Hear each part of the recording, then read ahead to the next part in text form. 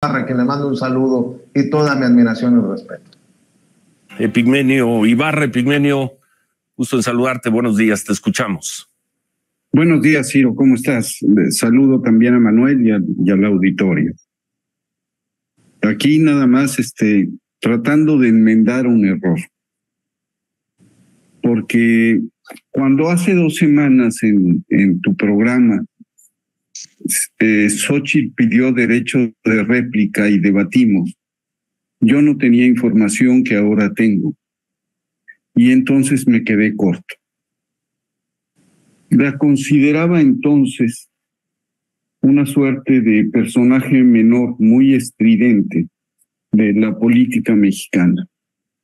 Y habida cuenta de los propios antecedentes narrados por ella, una suerte de compañera de viaje, de tonta útil de la derecha conservadora.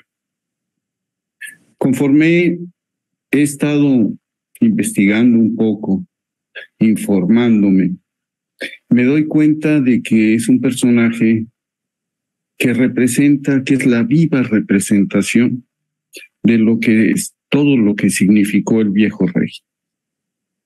Que no es que se codee o que se fotografíe sonriente con personajes que hicieron mucho daño a México. Es que es parte de esa élite. No es que se la sacaran de la chistera para inventar otro Fox eso funciona también, es cierto. Repiten la fórmula. Pero estamos hablando de un personaje que ha estado profundamente ligado a ellos y que ha trabajado con ellos hace muchísimos años. Y que tiene sus mismas mañas, que, que cojea de la misma pata.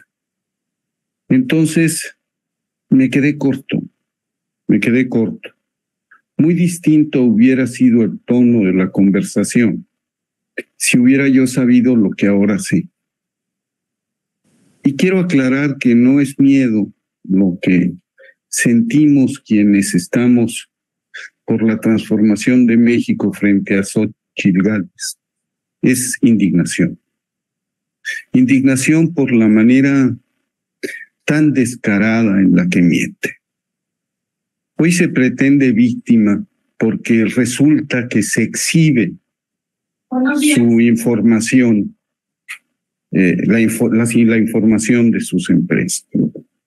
Cuando ella a eso se dedica de manera sistemática, a pues perseguir con calor. De el querido Epigmenio Barra, con Ciro Gómez Leiva precisamente, y mi querido Toño, pues muchas cositas que van quedando sobre la mesa para irlas comentando. Muchos me dirán, oye, ¿y por qué no le pones más atención a los recorridos de las corcholatas? Sí, son muy importantes, pero en este momento, porque lo vemos también con el presidente, hay que desmontar las narrativas de esta oposición pedorra antes de que por ahí más de uno se las empiece a creer, se las empiece a comprar. Y eh, bueno, esa es mi opinión. Ya también eh, daré mi opinión acerca de algunas declaraciones, por ejemplo, de la gobernadora de Campeche, Laida Sansores, que creo que no es, no es lo mismo que hagamos una crítica, un comentario en sin censura, a que lo haga Laida Sansores, la gobernadora constitucional de Campeche, en su espacio.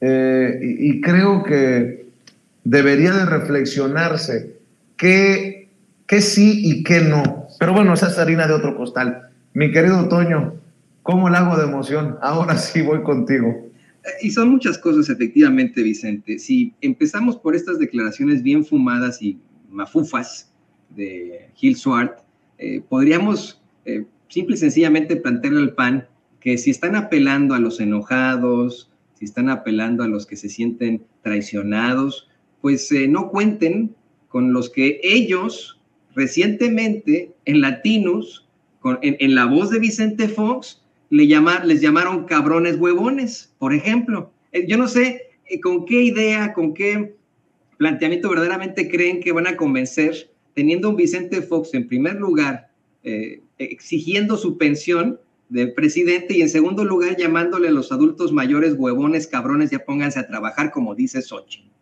En segundo lugar, tenemos efectivamente la exhibidota que le, han puesto de pe a pa a la señora de la payasada. A, la señora que, como bien menciona Epigmenio Ibarra, simple y sencillamente está causando indignación entre muchos de los que se oponen definitivamente a que regrese el régimen de privilegios, de corrupción, de criminalidad y de maldad que tenían estos cuates. Pero en todo caso, no se equivoca tampoco al exhibir la indignación que tenemos los mexicanos por las mentiras, por lo muy mitómana que ha resultado Xochil Gálvez. Fíjate que don David y este tu servidor nos hemos dado la tarea de estar buscando videos de archivo con los que podemos seguir exhibiendo a Xochil Gálvez y ya los tenemos listos para que en caso de que se necesiten van a estar directamente ahí en Sin Censura. El video de cómo es que, por ejemplo, dijo que provenía de, las, eh, eh, de una clase eh, muy pobre, que tenía que, que batallaba muchísimo cuando era niña para ir a la escuela y cómo es exhibida por su misma familia allá en Hidalgo. este video también en el que asegura que eh, su padre era alcohólico y los maltrataba y que tenemos ahí a la hermana del papá, o, bueno, la tía, no sé si es la hermana, pero la tía de Xochitl Galvez, eh, indignada diciendo que es una mentira y que eh, el señor se desvivió para pues darles educación y apoyarlas en lo que más pudieran, que ni siquiera tenía una pistola, como él decía, como, como dijo Xochitl Galvez ante los medios de comunicación corporativos, en el que muestran esta casa